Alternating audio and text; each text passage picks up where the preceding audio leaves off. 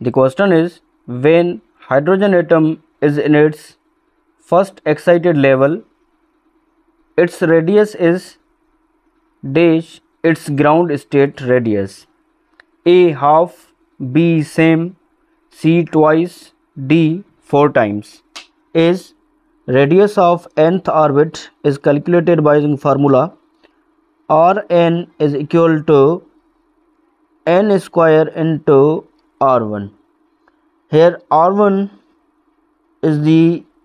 radius of first orbit of hydrogen which is 0.53 into 10 raised power minus 10 meter. So the value of first excited state means n is 2 so rn will be equal to n square means square of 2 into r1 so rn will be equal to 4 r1 so the correct option will be d 4 times